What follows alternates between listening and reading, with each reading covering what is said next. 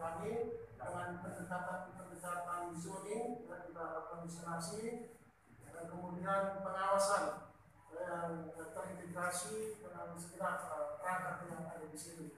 Uh, kemudian juga teknologi. Ya, teknologi itu memang uh, sangat dibutuhkan.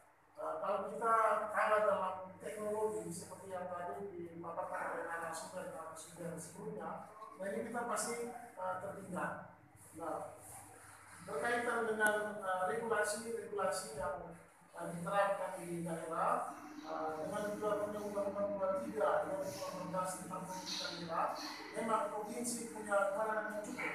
Tetapi ini perlu didukung dengan uh, satu uh, regulasi sebagai regulasinya untuk mempercepat ya untuk pengelolaan perikanan di daerah-daerah ini uh, dengan perizinan yang cepat, kemudian dukungan-dukungan uh, teknologi, infrastruktur dan juga alat tangkap yang lebih memadai.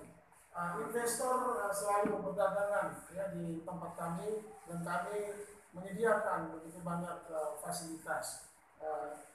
Produk-produk yang sedang kami kembangkan. Sebenarnya ini sejak tahun 85 masyarakat di daerah ini sudah bergelut dengan industri tangan laut.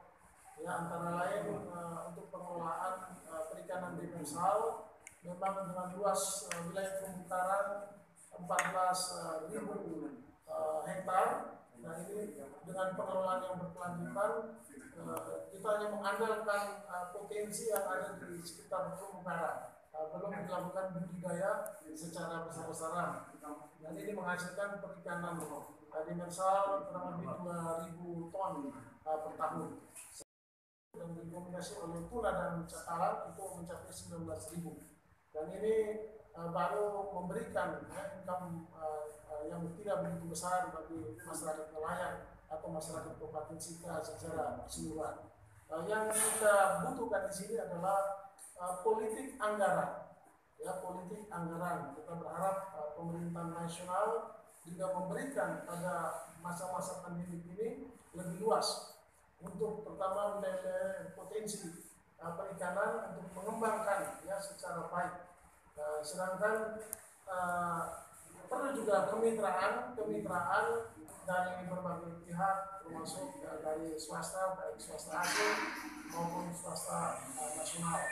Uh, kami di kompetensi uh, sudah cukup baik uh, mengembangkan olahan-olahan ikan yang industri dan semua sumber daya manusia adalah sumber daya manusia lokal kerjasama dengan perusahaan-perusahaan dari Jepang misalnya menghasilkan ikan kayu kemudian eh, ikan tuna yaitu dalam produksi ikan tuna loin, eh, tuna sapu, tuna beku dan steak tuna. Nah ini semuanya ada di eh, Sika dan memang eh, sampai saat ini eh, Kabupaten Sika masih memimpin dalam eh, upaya industri perikanan di NTT. Jadi harapan kami dari kendala-kendala itu perlu satu kebijakan yang lebih masif, yang lebih berani dan melibatkan semua pihak. Nah, SDM tadi seperti yang saya sampaikan itu yang menjadi utama bukan saja di daerah kami, tapi mungkin seluruh Indonesia. Sangat disayangkan kalau potensi perikanan di negara ini banyak diambil oleh negara-negara lain. Itu kan uh, sangat menyedihkan. Kita terlalu banyak fokus ya di daratan jadi usaha pertanian lahan pun bisa bertambah, tetapi di lautan begitu luas.